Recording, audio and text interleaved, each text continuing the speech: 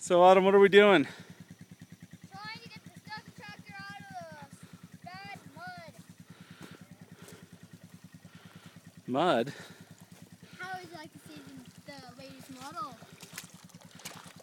Oh my goodness. How did all that mud get on you? Uh, I was off of the tractor and he, he started driving it, and then I fell over, and then the mud all over me. Wow. Okay, well, watch Liberty, okay? Mm-hmm. And there's the four wheeler Push the tractor out.